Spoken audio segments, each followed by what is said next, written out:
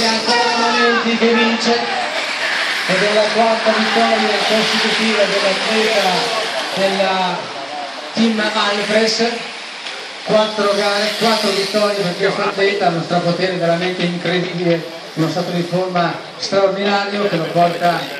a realizzare questi strepitosi successi, vittorie quindi rimanenti Ettore che consolida la sua classifica e probabilmente ormai matematicamente vincitore probabilmente diciamo del Gran Premio d'autunno. Concorrenti non in gara fermi concorrenti non in gara fermi che stiamo attendendo l'arrivo della fine gara